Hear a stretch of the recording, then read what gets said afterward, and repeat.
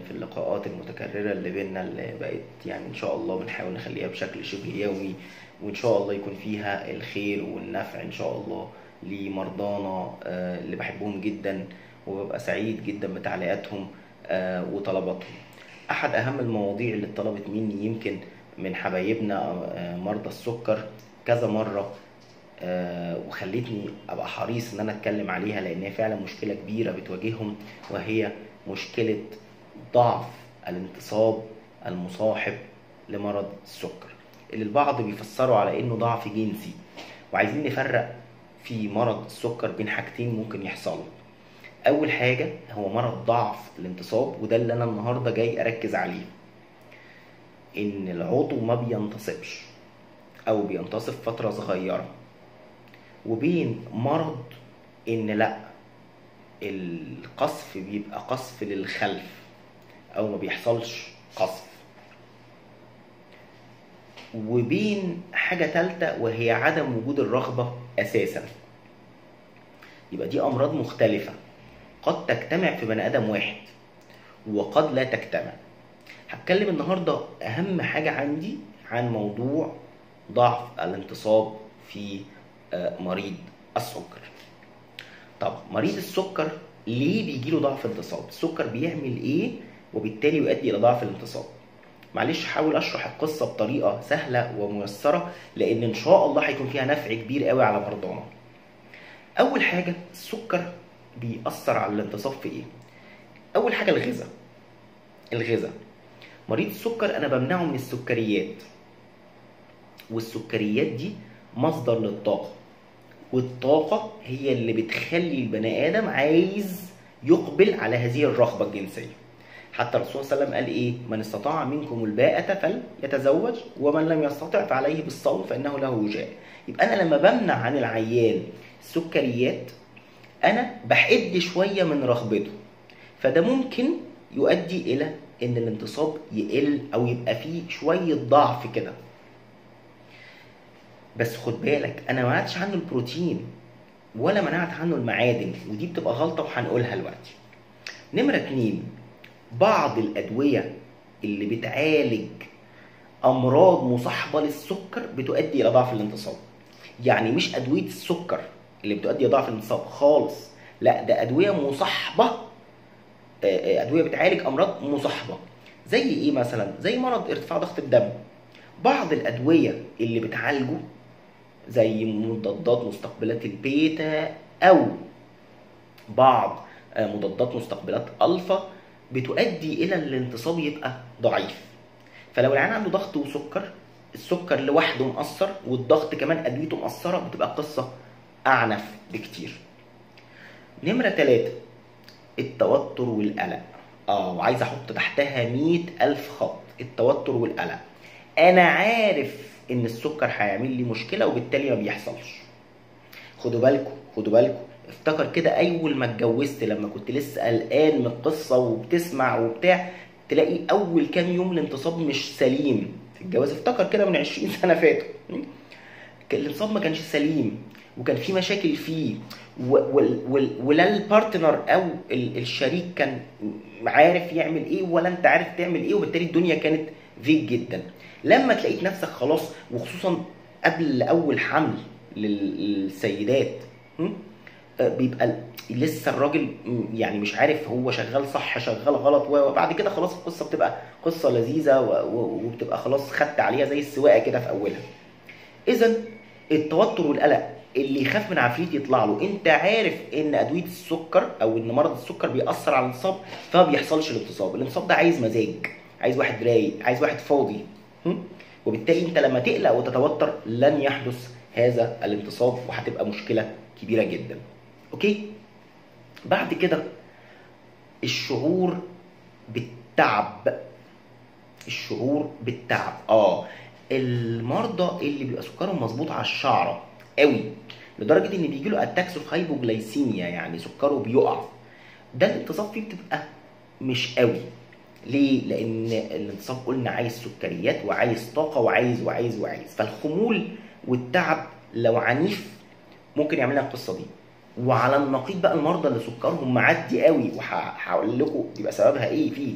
بس برضو لو سكرك معدي قوي قوي قوي لدرجة إن أنت داخل على ما قبل غيبوبة آه، آه، غيبوبة سكر أو يعني بدأت الحمضية تزيد طبعا هيبقى الموضوع صعب جدا جدا جدا. أوكي؟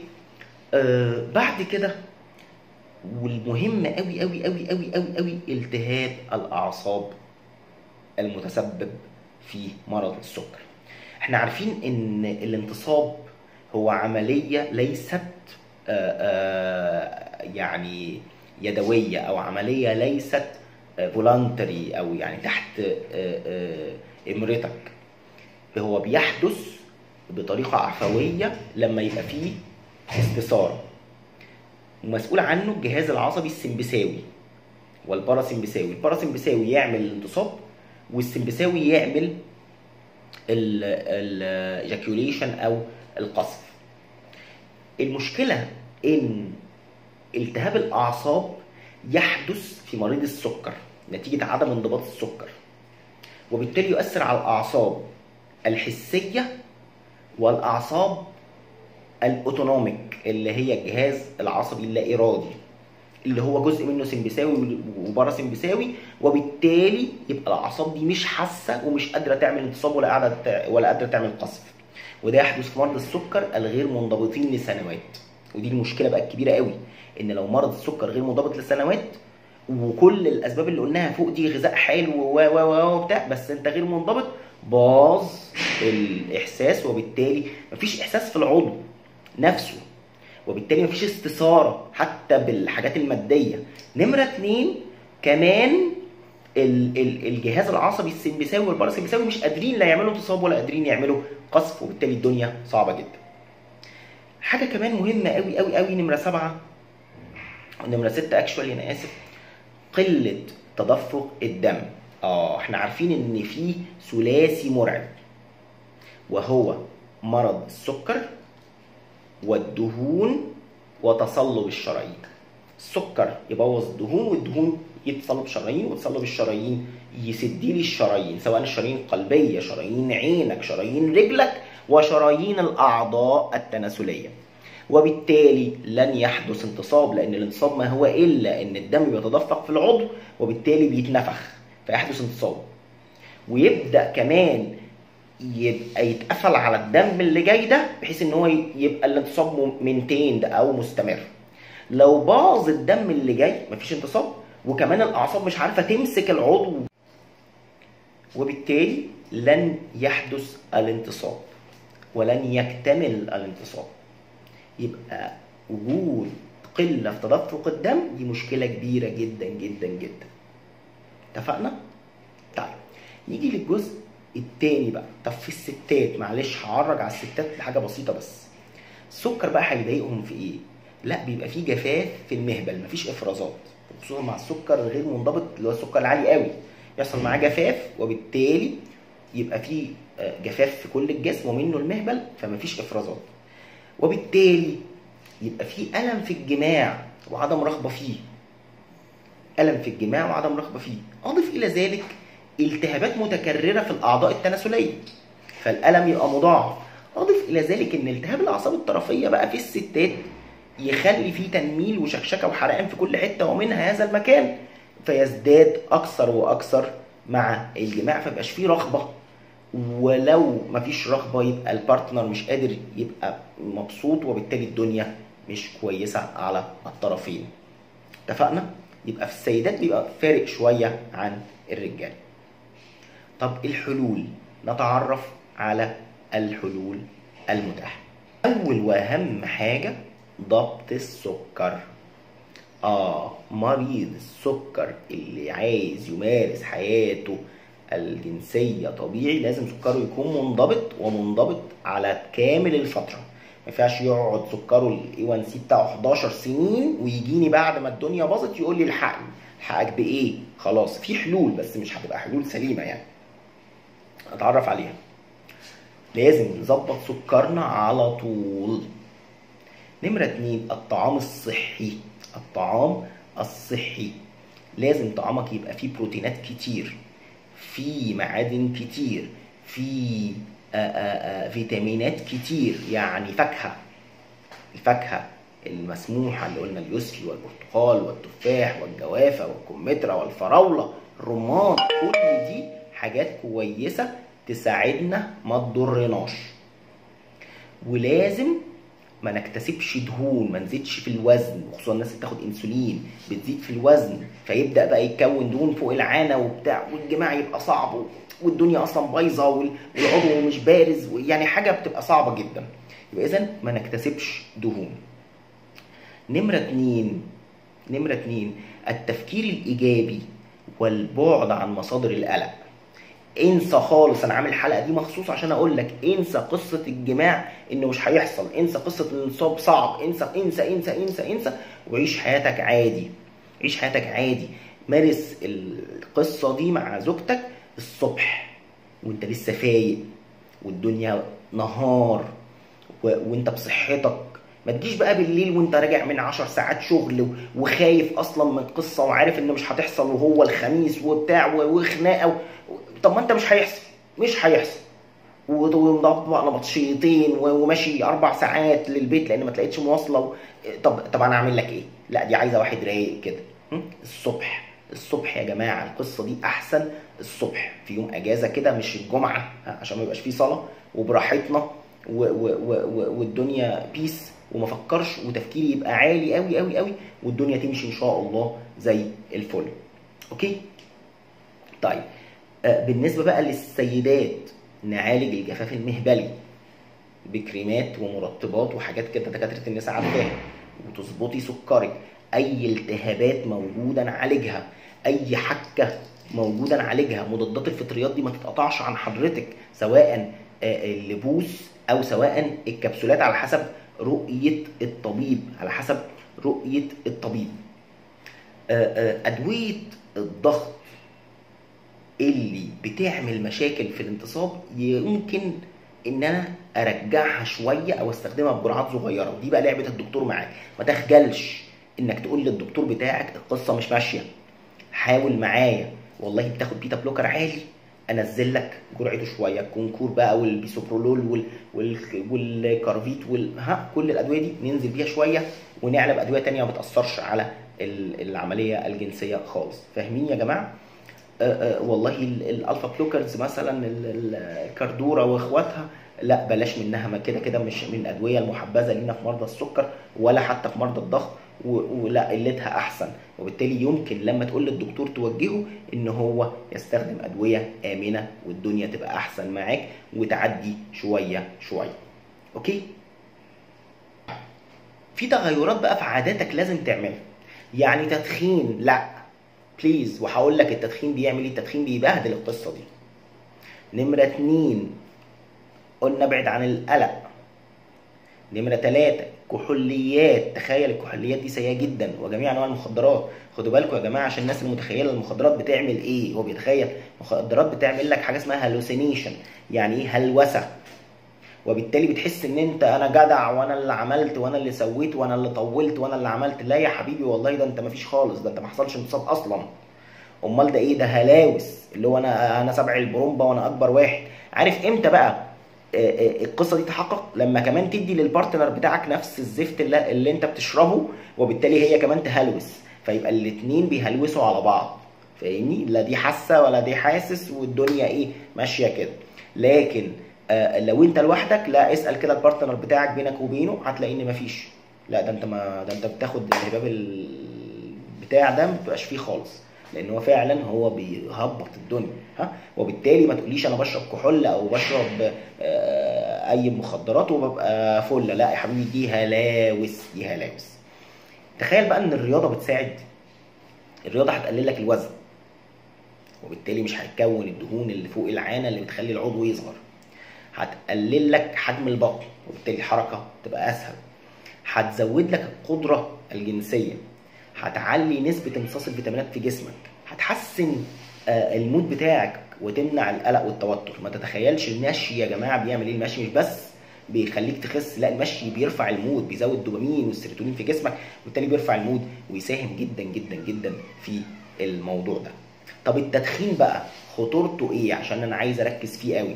التدخين ليه بتقول لي أقلع عن التدخين مش بس بيخلي ريحة الفم وحشة. وبالتالي ال partner مش مبسوط. قرفان. نمرة اتنين هو نفسه بيقلل الرغبة الجنسية عن طريق إن هو بيقلل حاجة اسمها ال nitric oxide وال nitric oxide ده هو اللي أصلا الفياجرا وأدوية الانتصاب بتشتغل بيه. فأنت حضرتك بتاخد حاجة ضد دواء الانتصاب دايركت وبالتالي مفيش انتصاب. نمرة ثلاثة هو أحد أهم عوامل تصلب الشرايين التدخين ده وبالتالي طالما في تصلب شرايين مفيش أصلا انتصاب أضف إلى ذلك بقى العبء المادي الرهيب اللي حضرتك بتفكر فيه أصلا أنا بجيب ب 50 و60 جنيه سجاير في اليوم يعني ب 1800 جنيه سجاير في الشهر واصلا مفيش فلوس واصلا طب فين الانتصاب؟ فين الانتصاب؟ فين الليلة دي كلها؟ من الضغوط دي كلها فاهمني؟ وبالتالي مفيش تدخين النهارده خلاص عايز تبقى شكلك حلو كده ومالي مركزك ما تدخنش ما تدخنش ولا تشرب مخدرات ولا تشرب كحوليات كل دي حاجات بتبهدل الدنيا اضف إلى ذلك السكر اللي عند حضرتك. أوكي؟ طيب نيجي بقى للأدوية. نيجي للأدوية. طبعا موضوع الأدوية ده بينقسم لشقين. شق دوائي بحت ودي عقارات طبعا معروفة أهمها على وجه يعني اللي مفيش خالص بقى مفيش مقارنة هي الفياجرا اللي هو السلدنافيل وإخواته بقى اللي ال phosphodiesterase 5 inhibitors سواء sildenafil tadalafil avanafil vardenafil كل دي أدوية عظيمة جدا جدا جدا جدا حققت مبيعات مهولة في العالم وعملت ثورة طبية رهيبه يعني من الأدوية اللي قومت اقتصاديات دول وحققت طموحات شعوب. ما نقدرش ننكر. أدوية عظيمة جدا جدا جدا وهتفرد بيها دلوقتي وهتكلم عنها شوية. بس ده خلاص ده الدواء. في أدوية بتخلي الانتصاب أطول شوية. زي مثلا يعني لو لو الانتصاب بيقع مرة واحدة ممكن ناخد جرعة من الترامادول بسيطة جدا تحت إشراف طبي من أجل إن هي لو وال والقصف بيحصل بدري ها؟ لكن دي شغلانه السكر مش كل مرضى السكر بس لو في قصف بدري لا الترامادول بيأخر. في مادة الدابوكسيتين برضو. دي بتؤدي لإن هي تطول مش هتجيب انتصاب ولكن بتطول الفترة لو في انتصاب وقصف سريع اللي هو ال premature ejaculation أو القذف السريع. لكن أساس القصة فين؟ في السلدنافيل وإخواته طبعا اللي هي الفياجرا والسياليس و نمرة اتنين في البوس بيتحط جوه القضيب يوسع الشرايين اللي جواه وبالتالي يعمل erection ده بيستخدم مرة قبل الانتصاب. نمرة ثلاثة في حلقة بتحط عند البيز بتاع القضيب أو الحتة اللي متصلة بالجسم على طول بحيث إن هي تقفل على الدم بحيث إن الدم يفضل أطول فترة جوه القضيب بحيث إن هو يفضل منتصب في كمان جهاز تفريغ انقباضي كده بيتملى. في بقى زراعة قضيب قابل للنفخ. زراعة قضيب قابل للنفخ. وفي دعامات بتركب permanent يعني القابل للنفخ ده بيتنفخ ويتفضل. لكن في دعامات بتركب permanent بقى يبقى على طول القضيب منتصب. آه بيبقى جميل قوي بس عيبه الحركة فيه بتبقى صعبة. okay؟ يبقى الحاجات لا إما بركب prosthesis أو حاجات أجهزة تعويضية أو إن باخد أدوية. طب نتكلم شوية عن عشان نختم بيها بس نتكلم عن يعني حقائق عن الفياجرا آه اما طلعت عملت إيه في العالم لأن هي حقيقة يعني آه مسلية جدا جدا جدا جدا. آه الفياجرا واخواتها. دي حاجة اسمها phosphodiesterase inhibitor. يعني تمنع انزيم اسمه phosphodiesterase. بتعمل له تثبيط طب لما تثبطه الانزيم ده كان بيكسر حاجة اسمها ال cyclic GMP. فال cyclic GMP ده يزيد في جسمي. طب ال cyclic GMP ده طلع وظيفته إيه؟ وظيفته إن هو بيوسع الشرايين. فأول ما طلعت الفياجرا دي كانت طالعة عشان هي تبقى دواء للضغط الصراحة. ودواء لشرايين القلب. عملت مصايب. أول حاجة لو وطت الضغط عدل. وجت على شرايين القلب وعملت تسارع شديد في ضربات القلب. وبالتالي عيانين قصور الشرايين التاجيه اشتكوا منها زيادة والشركة راحت سحبه الدواء وعملت مصايب. بس لاحظوا حاجة غريبة قوي في العيانين اللي خدوا الفياجرا. إن كلهم حتى كبار السن منهم لاحظوا إن حصل لهم انتصاب غير مرغوب. حصل لهم انتصاب غير مرغوب فيه. واشتكوا منه وبدأوا يتضايقوا. والناس الكبار يعني قال لك إيه ده بعد ما شافوا ودوا الكتاب؟ فاتضايقوا جدا منه. فالشركة بدأت تفكر. طلع إن هو بيزيد من آه، آه، اتساع الشرايين القلبية أي كلام الطرفية أي كلام لا ده شغال على شرايين العضو أكتر حاجة. فقال لك بس خلاص ده الحل العظيم والمثالي لمرضى ضعف الانتصاب وبداوا ينزلوا الدواء لهذا الغرض وليس وبجرعات مخصوصة وليس لا لضغط الدم ولا للشرايين التاجيه والدواء اجتاح العالم وعمل ضجة. لك أن تعلم إن 60% من الأمريكان يتعاطوا الترامادول يتعاطوا آسف الفياجرا. 60% من الأمريكان يتعاطوا الفياجرا. أوروبا 30% من الشعب الشعوب الأوروبية تتعاطى الفياجرا. الشرق الأوسط 10% من شعوب الشرق الأوسط تتعاطى الفياجرا. هقول حاجة ما حدش يزعل مني السعودية لوحدها بتصرف 2 مليار دولار سنويا على الفياجرا. السعوديه أو ما كام مليون أصلا ها بيصرفوا 2 مليار دولار سنويا على الفياجرا وبالتالي يعني عامل ضجة رهيبة جدا محقق أرباح مهولة جدا. آه، آه، دواء يعني ما إحنا عارفين. مش مش محتاج أقول أكتر من كده. دواء عظيم جدا. بس له ممنوعات.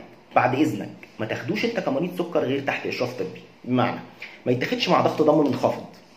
ما يتاخدش في مرضى شرايين تاجيه لأن قلنا بيسرع القلب ويزود المشكلة اللي فيه أكتر وممكن يجيب ألم في الصدر وبتبان لكم في التمثيليات آه، مش عارف واخدين بالكم منها ولا لأ التمثيليات اللي تلاقيه راجل كبير في السن واتجوز وبتاع فجأة قلبه يتعب ويتحجز في الرعاية آه بيبقى سببها إن هو تعاطى الفياجرا.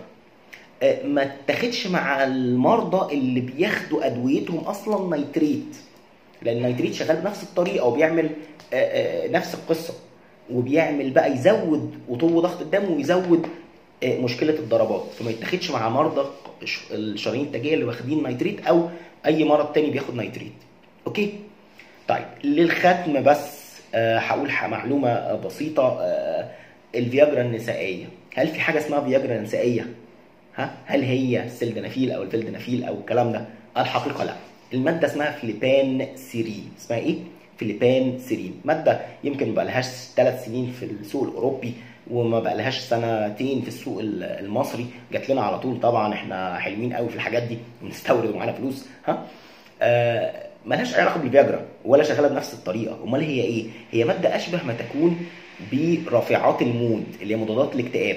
يعني هي بتزود الدوبامين في في مخي وتزود نورأدرينالين في مخ السيدة يعني أو البنوتة وتزود. السيروتونين وبالتالي كل ال... ال... ال transmitters دي لما تزيد في مخي أو في مخ يعني ال- الأنثى تتبسط وأحد عوامل الانبساط الرغبة الجنسية. عشان كده بقول لك لازم تكون مبسوط عشان تحصل الرغبه الجنسيه ما ينفعش أنا متنيل وتعبان وقرفان وهم العيال وهم الفلوس وهم وهم وهم وهم يا جمل وتقول لي رغبة جنسية عند السيدات أو الرجال. لا لازم تكون قصة براحة يعني. وبالتالي الفليبانسيرين ده الفياجرا النسائية ما هي الا ماده بتزود الدوبامين تزود نور أدرينالين ودول لما يزيدوا في جسمي جسم الأنثى تتبسط قوي وتبدأ تفكر في الشهوة الجنسية لكن ما بيعملش زي الرجالة يعني ما فيش انتصاب ما فيش ما فيش ما فيش آه شكرا جزيلا لكم. أرجو أن أكون وصلت الرساله اللي عايز أقولها. مريض السكر ما يخافش. مريض السكر يظبط سكره. مريض السكر يرجع لدكتور السكر الأول قبل ما يعمل أي حاجة عشان يظبط له سكره. ويقول له إيه الأدوية اللي ممكن دكتور الذكورة أو دكتور المسالك يديها له؟ آه، وروشته الدكتور المسالك أو الذكورة لازم تعرض على دكتور السكر وقبل ما يعمل عملية لازم لو هيعمل له prosthesis أجهزة تعويضية لازم يبقى مع دكتور السكر. ولازم أنا أقول افرض أنت سكرك مش مظبوط وهنحط prosthesis هيجي لك التهابات هيجي لك مصايب. لأ لازم أنا أبقى معاك في القصة. سعدت بلقائكم جدا. محبكم دكتور أسامة أبو طالب والسلام عليكم ورحمة الله وبركاته.